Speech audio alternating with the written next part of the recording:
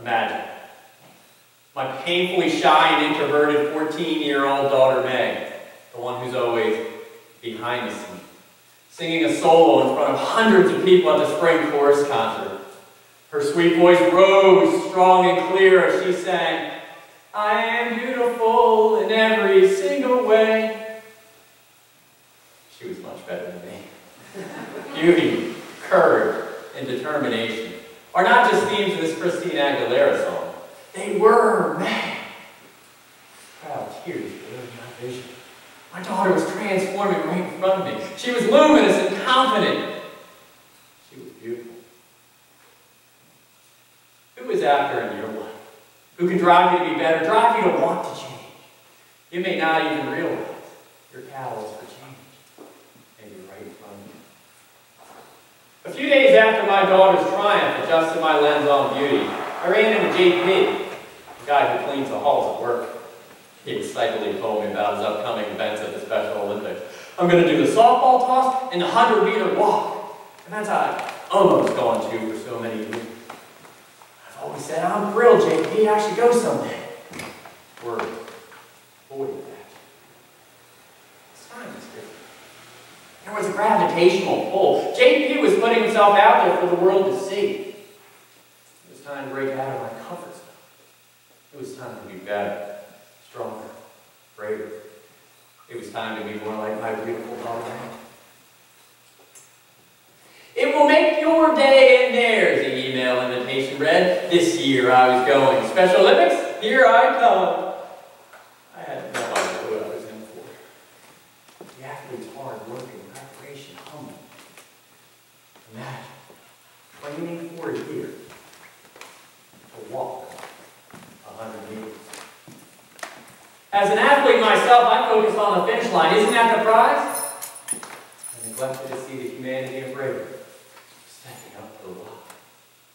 Before the starting line, and after the finish line is strong and kind people doing extraordinary things. I had to see these athletes. I wanted to do something meaningful. Something good. How have I been so blind? For years, my wife Ellen has volunteered to raise funds for the special needs clients across the street. I only seem to pay attention to Louie and his friends when they not so discreetly threw treats to my dog from afar. My dog was getting fat. I just laughed because she saw the joy it gave her. Besides, the dog didn't seem to mind. Ellen often went to the Special Olympics to see Louie, Scott, Melvin, and others. She knew more than their names. She knew their stories and shared in their lives. I wanted to be more like my wife. More open, more kind, more giving. I wanted to be beautiful. Like her. As I approached the venue, there were tents as far as the eyes could see. State troopers handing out ribbons and medals. Contagious excitement, not just for the athletes, but for the supporters, spectators, and volunteers. I saw J.P. Louie Scott and Melvin showing off their awards. I saw my fat and happy dog garner more attention than a streaker at the Super Bowl. What I saw was unconditional joy, love, and happiness, exuding from people whose actions screamed, I am determined, I am brave, I am beautiful. The deafening applause was just as loud for the last place athlete as for the first. On this day, everyone won, including me. There's an oath that opens every Special Olympics. Let me win. But if I cannot win, let me be brave in the attempt.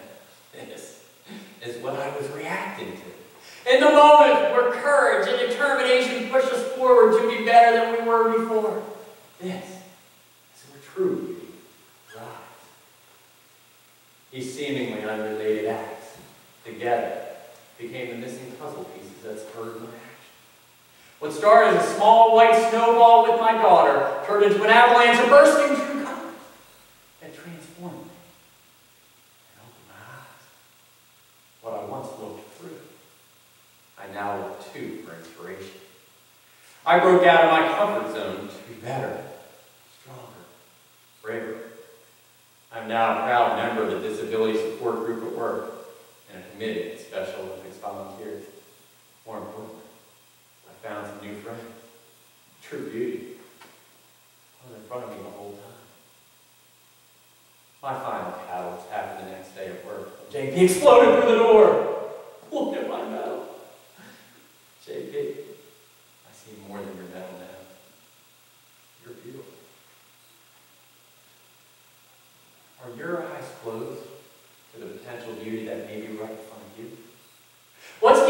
Breaking out of your own comfort zone?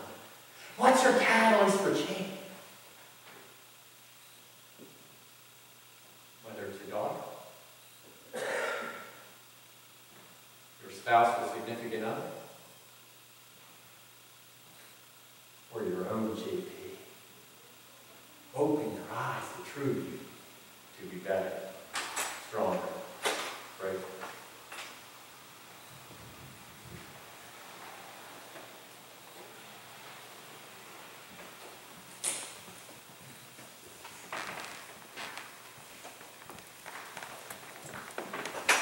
Who is JP? Or even what is your JP? Can you grab hold of your own transformation?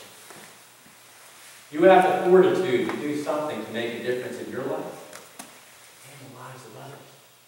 Do you even know the signs that can spur you to be better, stronger, greater? Your ability to cross over the threshold from change thinking to change actions may not be as far out of your reach as you think. Personal and professional success are there for the taking. We all have the ability to change who we are. We need to be flexible to change. Just look at the healthcare industry with constant reform and new medical practices. For example, hands-only CPR is now encouraged. People are being taught to push hard and fast to the beat of the song, Staying Alive, because it's supposed to have 100 beats per minute. In reality, it has 103. Is a 100 beats, but the medical experts are not sure they want it running through your head while you're doing it. And another one's gone, and another one's gone, and another one bites dust. Before we get too deep into the content, I want to share with you that I'm an addict. I'm addicted to Toastmasters. It has changed my life and career. I've had issues with communicating and singing. Although it's done nothing for my musical prowess, it's done wonders for my ability to stop taking 20 minutes to tell a 30 second anecdote. Let me show you how far I've come. My wife has a nine year old niece who was overheard at school telling a classmate, You're not popular and nobody likes you. The teacher had her write a letter of apology. The letter came in the next day and it said, I'm sorry. You are not popular and nobody likes you. Today is a look back on the many milestones I've passed in my life. Some I noticed, some I. As we go through today, I want you to look back on the potential lessons learned in your life and ask yourself, did you do anything with them? It's okay if you didn't, because it's not too late. Let's take a moment to think about the names of three people, animals, events, anything that can or have inspired you. Each may have a different reason for influence. Whether it's admiring someone's courage, lessons taught, or learning from your own mistakes. There's a constant in all of that to make it happen. And that's you. Up until a few years ago, I was inconsistent with my professional performance, often cynical, definitely defensive. I've been demoted twice in my career. And told I would never reach senior management because they never saw me in the role. Yet I can stand in front of you today and tell you I've never been happier, personally or professionally, than I am right now. In the midst of a downturned economy, I've thrived with more raises, promotions, and increases in job responsibilities than I could have ever imagined. I'm doing things I never dreamed of. Writing two books, being part of the National Speakers Association, being the official announcer of the U.S. National Toboggan Why am I coming? Because it took me years to figure out, but I finally got it. I needed to break out of my own painfully shy and shell and look myself in the mirror. I wanted and needed to change.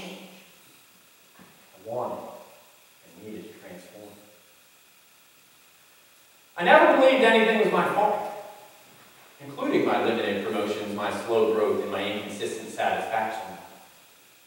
I used my defensive reaction as a protective mechanism which impacted my ability to relate to people or communicate effectively.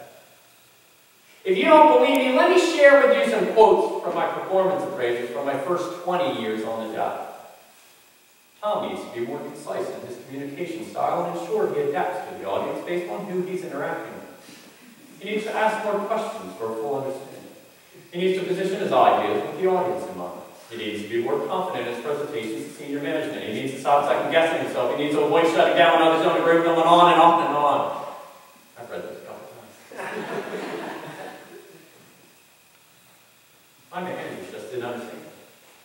They had to have been copying from my previous reviews from my former manager. It was never my fault, never my problem. That's why I took no actions to improve. Can't imagine why I was never promoted on my own time. Think back to the toughest feedback you ever received and ask yourself, what'd you do? When you're presented with the gift of feedback, you can do one of two things. Ignore it or do something about it. When I first started in collections on the phone, I was an up-and-coming performer in an industry-leading company. In just two years, I became a consistent top performer and was given my first management role. In less than a year, Dropped morale like rock, developed poor management habits, and received devastating focus group feedback. Apparently, being good at your former job does not guarantee you're going to become a good leader. I had every excuse in the book. I managed 30 people on my own in a seven-day-a-week shop with 12-hour shifts. My manager never gave me any feedback.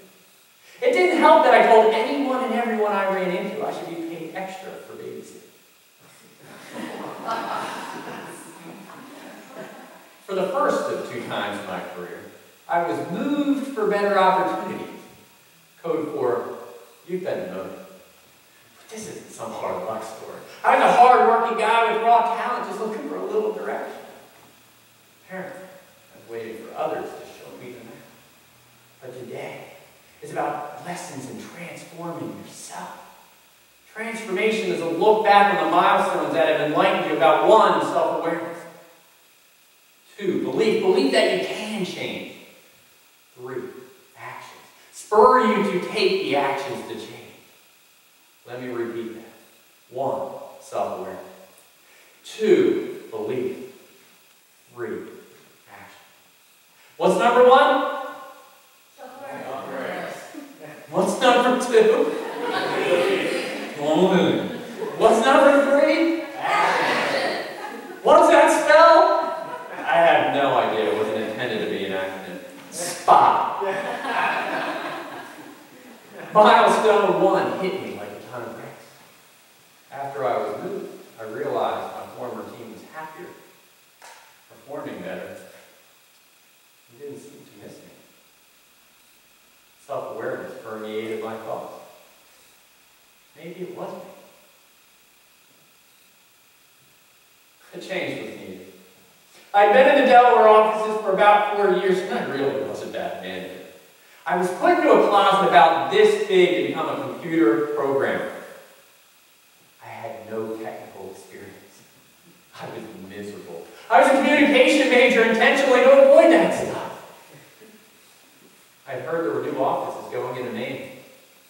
I thought I'd talk to the executives see, to give me another shot at managing. I'm not sure I was ready to change. I felt that I needed to change. The executive said he didn't see any growth potential with me as a manager. I could go up there if I wanted in a business support role, but only after I talked to my new potential manager. So I did. He knew who I was. First thing he said is, Tom, do you realize you're cynical? And that's not healthy for a new and emerging business. I had never been labeled as cynical before. Sarcastic, yes. Cynical, no. I had a growing was coming my way. I was just smacked between the eyes with some feedback I apparently needed badly. I left the meeting having to look up the word.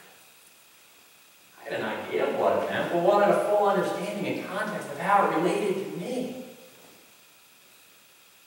It means a disbelief in sincerity in human motives. Ouch. I was just a hard-working guy looking for a little. Just got an inkling I needed to change my ways if I wanted his success. I was more motivated than ever. I wasn't going to let anyone or anything stop me or cause me to fail. I was still fuming over what the first guy said. Tell me he didn't see me moving or growing up with the company. Another milestone. Don't let anyone tell you you're not good enough. Prove people wrong. I took that business support role and I moved to Maine. I was working extremely hard and I was getting noticed again. I was pseudo promoted to a made up position. I was the acting manager of managers. Then the worst case scenario happened. The manager who loved me moved on. And I got a new one. The new manager and I were constantly butting heads and were never on the same page. I was reverting back to my old habits. He told me I had no people skills or. I was beginning to believe I'd never get another fair shot. After another one of my Friday 5 p.m. berating beatdowns where I was told I wasn't cutting it, I went home to hear my wife say, wait three months. One of you will be hired, fired, or moved on. Thank you. her way of teaching me patience. Two months later, I was moved for better opportunities. I was demoted and moved on. My manager was double promoted. It was the happiest day of my life besides my wedding day and the day my children were born. But she was right. As I was packing up to move, I was flipping through a book I ironically received from that manager for Christmas and landed on page 47. Surrender to the fact that life isn't fair. In the book, Don't Sweat the Small Stuff by Dr. Richard Carlson. It went on to read who said that life was going to be fair, and that it was even meant to be fair. Another milestone. I need to stop blaming others and start taking hold of my own career. My new manager simply said, You have the 45th ranked team in the company. Make them number one. I trust you and I'm going to give you your space. I believe you can turn this team around. I had a new lease on life. I was starting to believe in myself again. I was starting to take the right actions instead of running through the wall, looking over my shoulder and hoping that people would follow. Me, I went to the back and provided support and encouragement as needed. I was riding their less than two months, we were the number two team. Another milestone. Proved people right. And I did. I was promoted for real this time, and I was given an office with a door. Yes. I could shut the world out. That didn't last very long. I closed the door, and there was a sign that read, Change is inevitable. Growth. Six simple words. No author was listed. Change is inevitable. Growth is optional. Another milestone. I was genuinely understanding that my ability to adapt to others and my willingness to grow personally and professionally were creating wins for everyone. I no longer wanted to just survive. I wanted to thrive and bring people along with me. I still wasn't perfect. My people skills were somewhat suffocating. I was often micromanaged. I think that was my fear of failing again. Thought I was making strides. I was once described as swimming in the oceans of Maine. Initially, when you jump in, you're shocked. And you can barely move. But after a while, you get kind of used to it. You get refreshed. And you learn to like it. I had enough people tell me they learned under my leadership. It took some of them years to admit. But I was making a difference. Eventually. I once had a manager tell me us being friends is purely a convenience, meaning our relationship isn't important. I lived with that mantra for far too long. I was beginning to cherish these relationships. I needed them and they needed me. Besides, my newfound vulnerability of sharing all my mistakes and lessons learned with others was getting somewhat of a follow.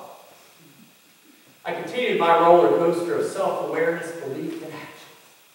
Slowly but surely, I was reaching my own long-term and professional goals. Not on my time, but I was moving forward until the most impactful milestone of all.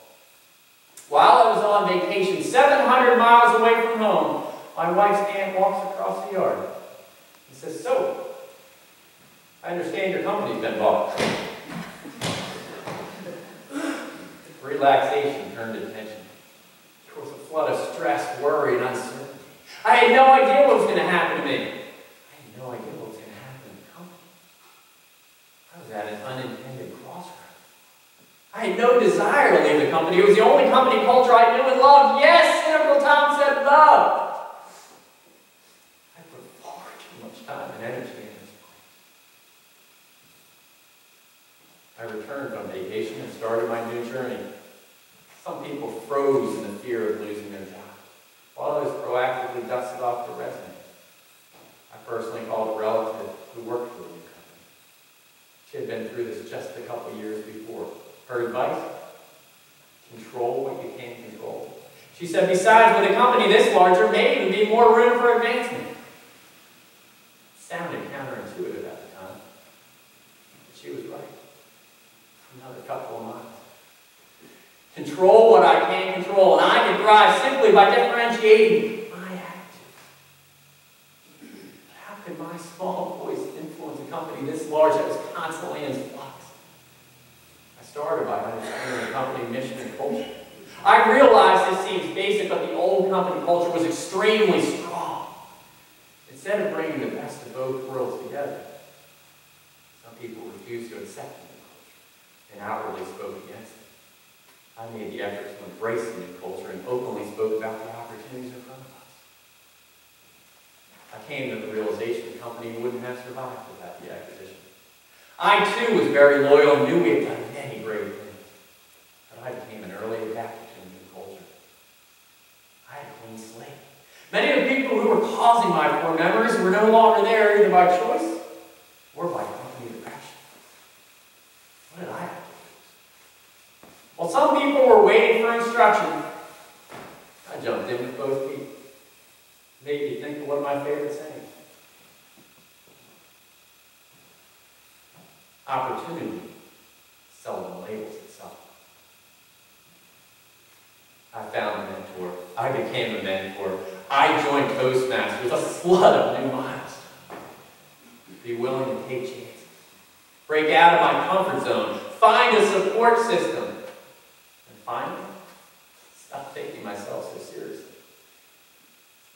After I joined Toastmasters, it took almost two years before I practiced my first speech in front of my wife. I was on my way out the door to a speech competition in Canada, where the winner would go on to the world semifinals and be in the top 81 in the world. Seemed like a good time. I wrote a seven-minute speech about my dog Kevin rescuing animals. I was so nervous I did the speech in five minutes. There's a line in there that says millions of dogs and cats. I was so tongue-tied. I said millions of dogs and a cat. She couldn't stop laughing. She knew it was a one-time gap and knew the effort I put in to get to this point. I knew if I could do it in front of her, I could do it in front of anyone. My family's been there to provide me the feedback I needed to hear and provide me the support to move me forward. My communication skills and my confidence level. And my subsequent success grew exponentially when I when I involved my family, friends, and my learning process.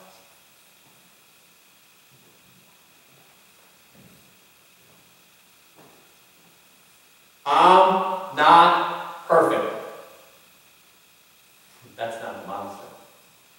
The fact that I'm okay with it is. I now strive to better myself versus letting everything weigh me down.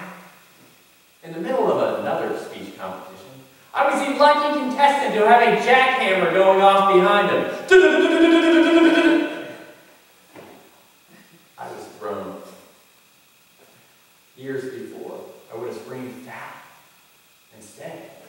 home and I changed my practice routines to encourage distraction. I now practice my speeches when the children are playing the piano, the trombone, or the xylophone. I invite the dog into the room so I can step over him while he's howling. It helps with focus and concentration. I'm even a little less bashful. I practice my speech in front of my dental hygienist while I'm waiting. All our actions to improve. It has made me more open, more bold, more confident. Are endless. My ability to adapt is made me a little bit more go with the flow and a little less likely to think about the potential negative things that could happen. I've taken the lead in my life and career. I've taken actions to improve my attitude and destiny. Professionally, I've made more of a name for myself in the last four years than I had in my previous 18 combined. Personally, I'm just happy. Probably just a little easier to be around. My transformation has been slow will constantly be in a state of evolution, but I am on top of the world. How's your 2020 mindset? Can you grab hold of your own milestone? You have the luxury to look back so you can look forward. Are you aware of your shortcomings? Do you believe that you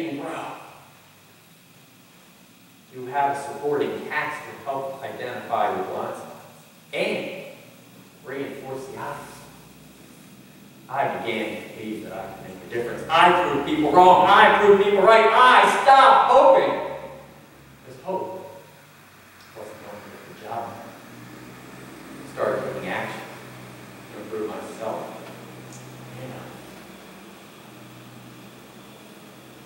Change is inevitable.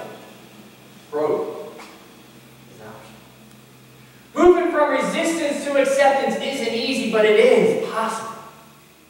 You have a choice.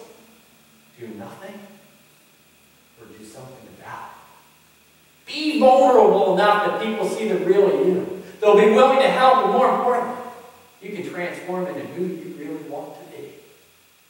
Hold yourself accountable as if you're the only person in the room. That's when you know you've made the difference. There is no such thing as wrong place at the wrong time. There's only self-awareness or self-doubt. Resistance or acceptance. But it is your choice. Your catalyst for change may be right in front of you. Transform into who you really want to be.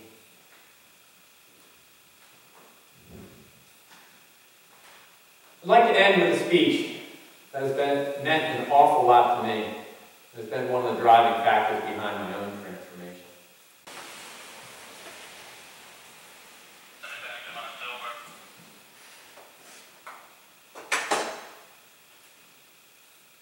Are you living to die? Or dying?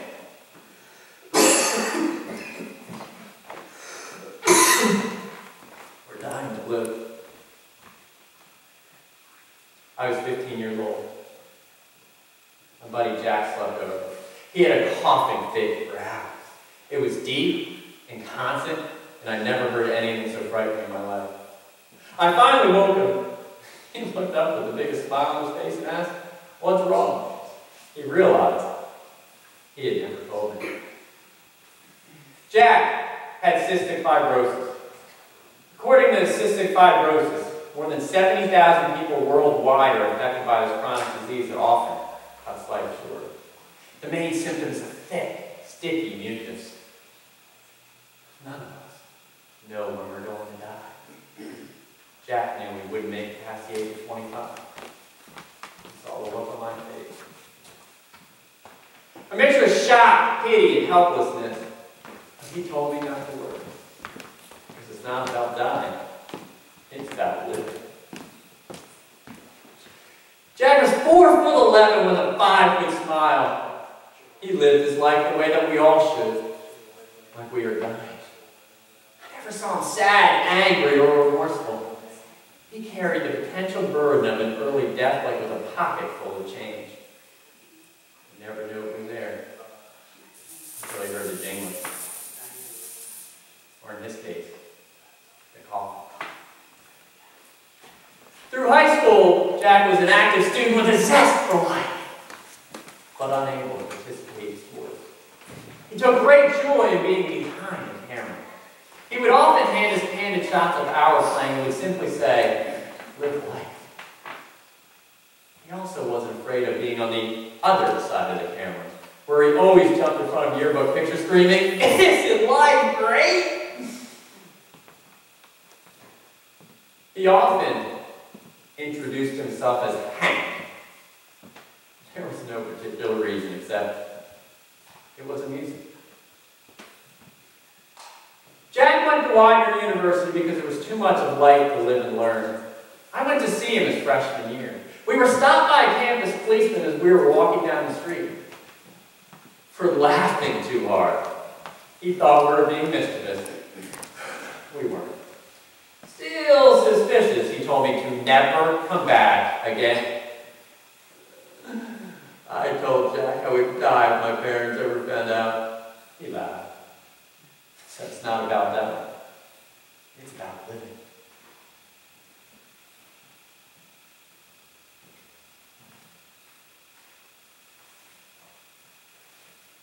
Jack had to leave college after a couple of years. Too many extended trips to the hospital. While many of us were waiting for our first legal hearing, Jack was hooked up to tubes, planning his own funeral. Still, the signature smile never left. He never wanted pity, but he did like a good laugh. Even on the day his casket rolled up the church aisle. He had the Rolling Stones song, You Can't Always Get What You Want playing. I laughed and cried simultaneously for the first time ever. There was a problem. I was just handed a gift. A lesson in life at the tender age of 21. I didn't open it. Somehow I let the speed of life over the next 20 years pass me by. There's nothing wrong with my life, just the daily grind. In the hustle and bustle airport one day, I heard a faint noise, a cough, deep and constant like Jack's. Then heard the song I heard a hundred times since his death. I heard it for the first time.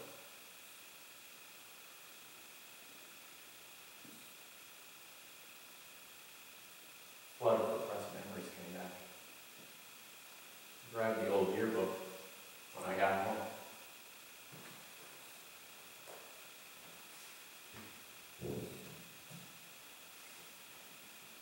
Dear Tom, many things have happened between us.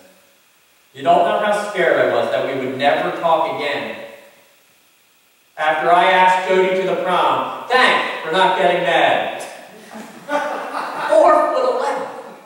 And he always got the girl. I'm really glad we got to spend a lot of time together over the past couple years. Well, I will end this, not with goodbye or good luck, but with remembrance to live life. Jack. I opened that gift and began to live my life to the fullest. I taught myself the piano. I took up fly fishing, although terrified of heights, went up in a hot air balloon. I even wrote a book about my own professional development and transformation.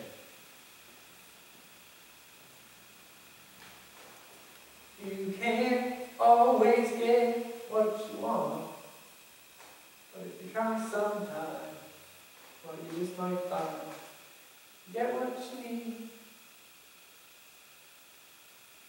I needed Jack. Even 20 years later. He lived his life to the fullest, and I had wasted time.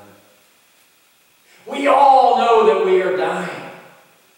But how many of us are truly